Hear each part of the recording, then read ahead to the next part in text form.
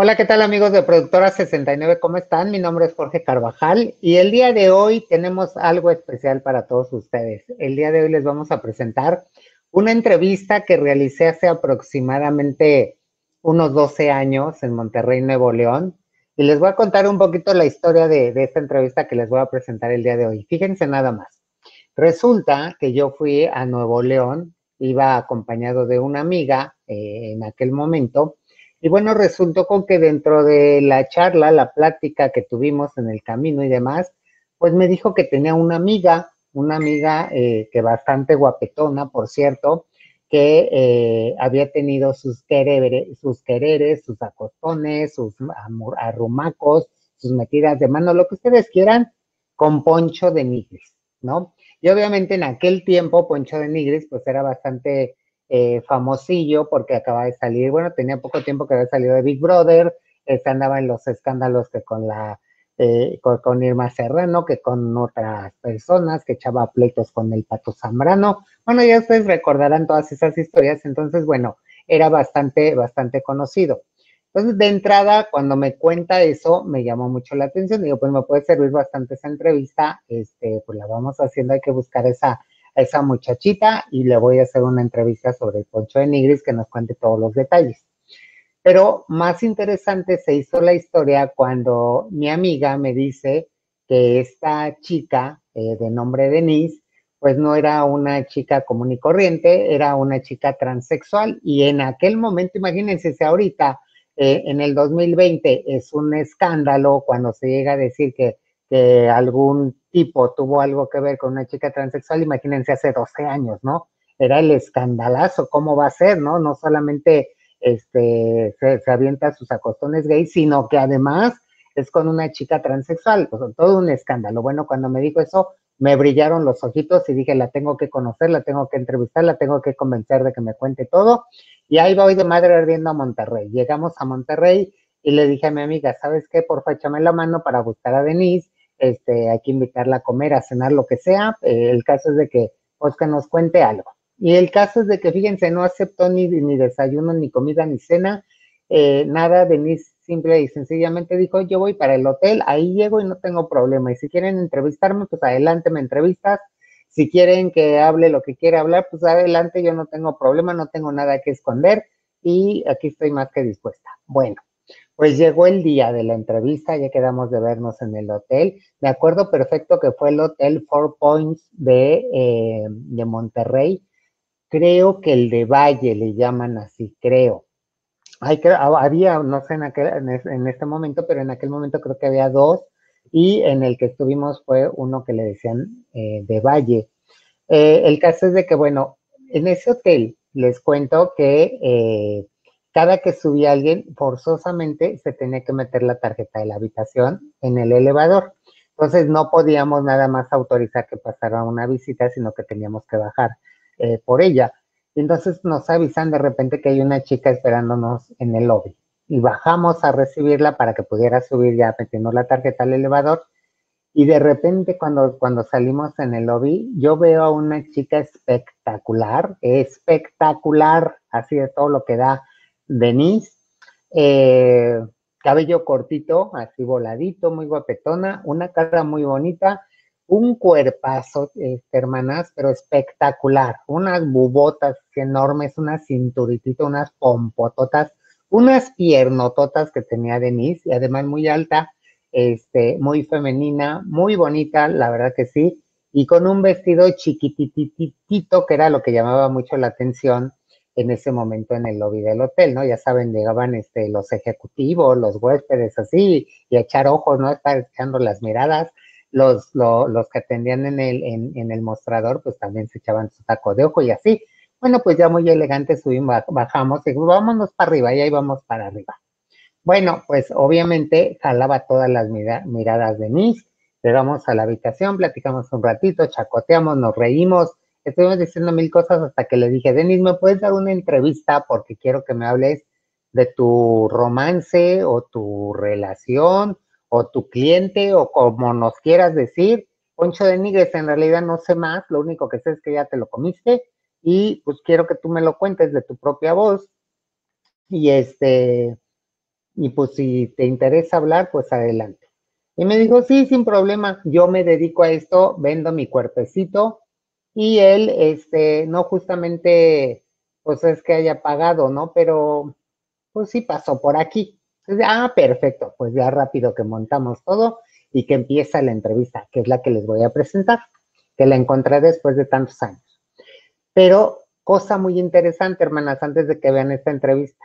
Después de esta entrevista, como dos semanas o tres semanas después, no recuerdo la fecha exacta, pero muy, muy poquitos días después de hacer esta entrevista donde Denise nos cuenta todo, nos cuenta hasta el tamaño que tiene Poncho de Nigris, pues resulta que la matan. Un día se desaparece Denise, desaparece de todos lados, de su casa, de su familia, de sus amigos, nadie sabe de ella, pasan muchos días sin que, sin que se sepa qué había pasado, si la habían secuestrado, la habían violado, la habían eh, eh, matado, ¿qué, ¿qué, le habían hecho, no? ¿Qué había pasado con Denise? Hasta días y días y días después, pues resultó con que ya, ya dieron por confirmada su, su muerte. Eh, de hecho, lo que, lo que se llegó a saber fue que algo murió muy feo, muy, muy trágico, muy, muy, muy lamentable, la verdad. Y, y surgieron muchas, muchas historias en ese momento de qué había pasado con ella. Obviamente ya había salido esta entrevista publicada en una revista y eso había causado mucho furor. Así que posterior a esto vino un escandalazo con Poncho de Nigris, porque la familia de Denis, los papás de, esta chica Denis, que en paz descanse, pues resulta que eh, culpaban a Poncho de Nigris de la muerte de su hija.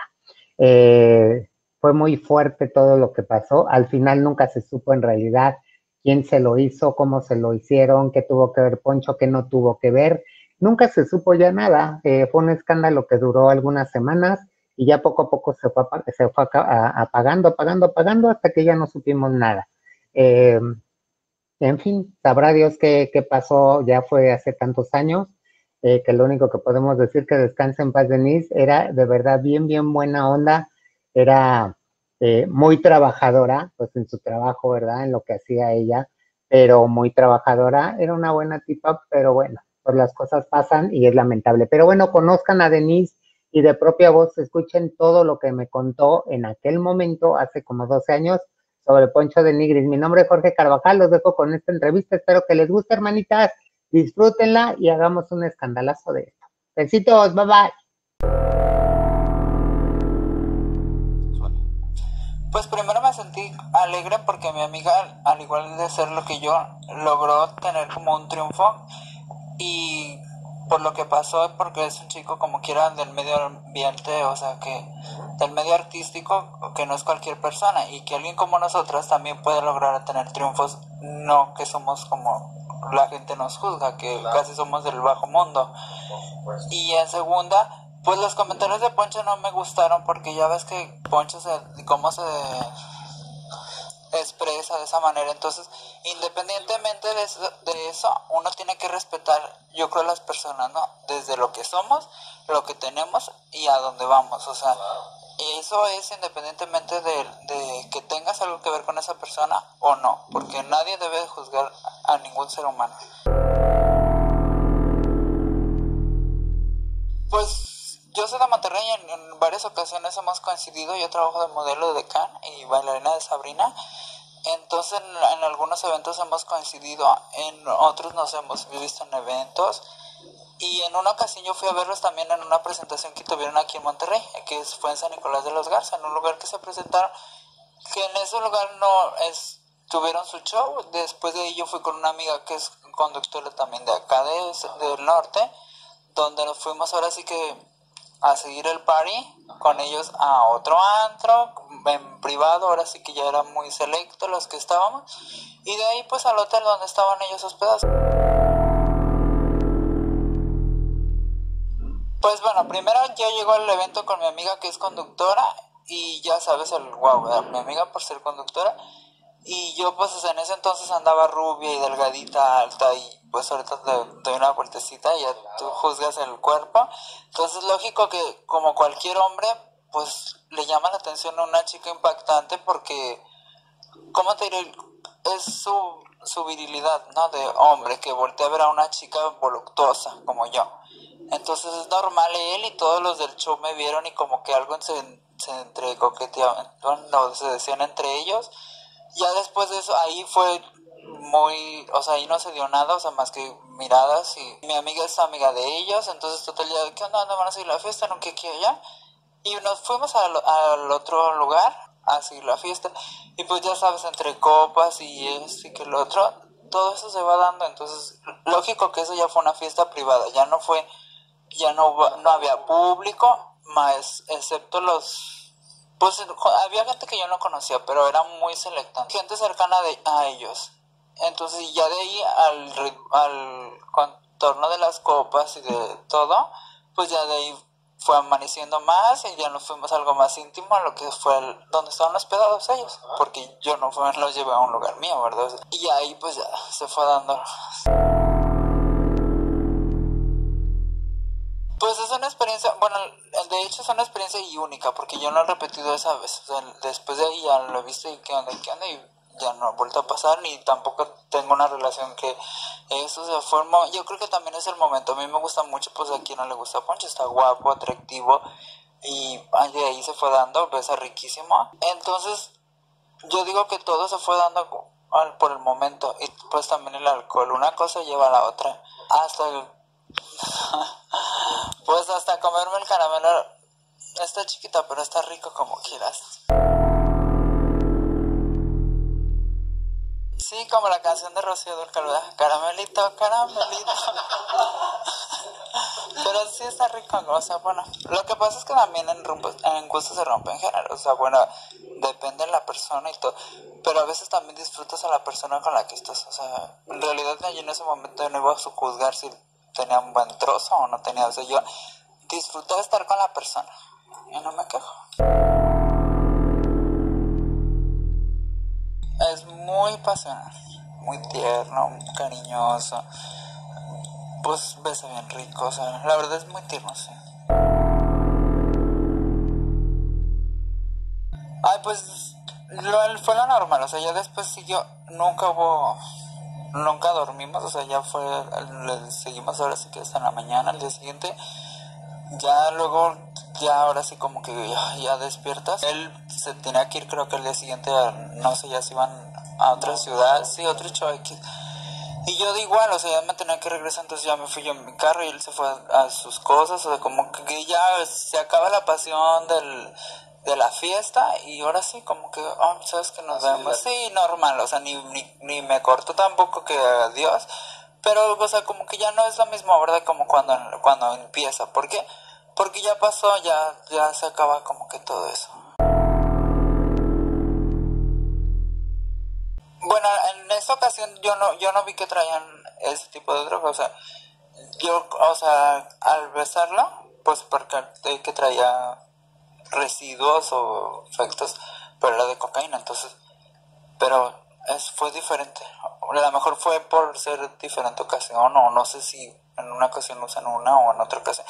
Ni tampoco me consta de que ah, la traía. O sea, yo el percatarlo por los besos, igual no sé si sus shows, pues, o sea, pueden sacarlos a los residuos. Aparte también, en esos medios, o sea, la mayoría se, se mueve mucho todo eso porque a lo mejor el ritmo del trabajo, o no sé, porque que esa vez creo que ya venían de otro show, no sé qué de fiesta, entonces creo que ni habían dormido y le seguían y ese día fue toda la noche y amaneció en la mañana y de ahí se fueron todavía a cumplir, o sea, ya no era de seguir de fiesta, o sea, simplemente cumplir con el trabajo, seguir el viaje, la gira o no sé. Pues siempre ha habido como atracción, como que siempre tú sientes, ¿no? Cuando le gustas a una persona a una persona como que hay atracción, como que hay química, entonces siempre nos veíamos y como que había coqueteos y ya me tomaba ya una, alguna foto él conmigo o yo con él o nos veíamos o no se viera que él estuviera con más gente, solo me saludaba así de lejecitos, entonces así, cosas así que había química y por eso llega. Ahora, en varias ocasiones, de hecho tenía unas fotos de, de ese, de lo del evento pero esos, esos desgraciadamente no se dieron porque fueron fotos de celular, entonces después no salieron bien y esas son de otras ocasiones y pues ahí también demuestro un ticket de dónde está el hotel que No me dejará mentir que es donde estuvieron hospedados y donde estuvieron. Sí, del, exactamente del momento, de la ocasión. No, no son pornos, pero son del momento que estábamos juntos. No, yo. Yo de mi teléfono.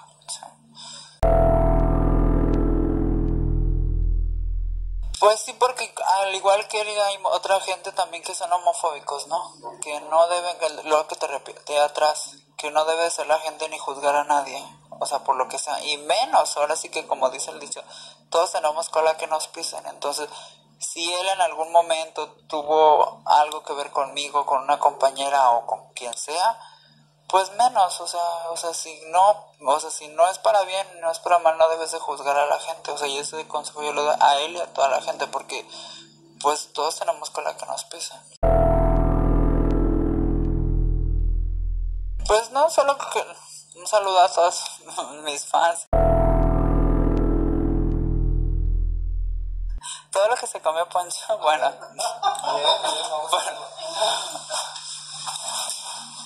bueno. Es que no, no solo se le antoja a Poncho, ¿verdad? A cualquiera.